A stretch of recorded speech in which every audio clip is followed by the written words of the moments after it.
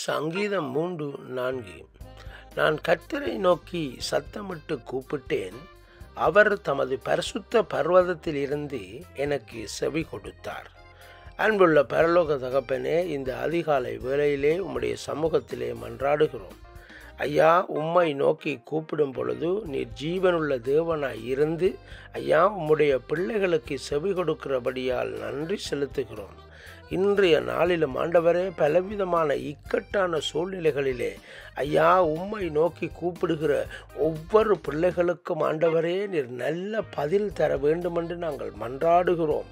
அவர்களுடைய கண்ணீரை துடைக்கத்தக்கதாக அவர்களது நெருக்கத்திலே இருந்து விடுதலை தரத்தக்கதான உம்முடைய பதிலை நீர் இன்றைக்கே கட்டளையிடுவீராக.